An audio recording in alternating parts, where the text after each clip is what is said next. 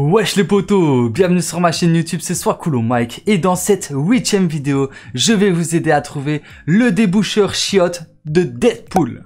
Alors tout simplement, je tourne cette vidéo en avance, donc je ne suis pas sûr de l'emplacement du déboucheur, mais je suis à 99% sûr qu'il va apparaître là où je vais vous le dire. Alors tout simplement, vous rentrez dans la petite toilette de Deadpool et logiquement, Deadpool ne sera plus sur les chiottes.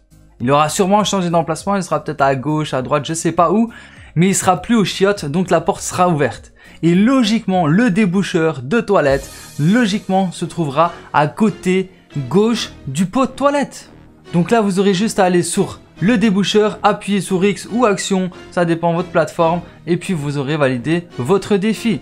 Donc voilà qui termine cette petite vidéo d'information. J'espère qu'elle vous aura été utile. Si c'est le cas, n'hésitez pas à liker, à partager et à vous abonner si ce n'est pas encore déjà fait. Et sur ce, moi je vous dis à très bientôt pour plus de vidéos. C'était soit cool mec et ciao. Peace.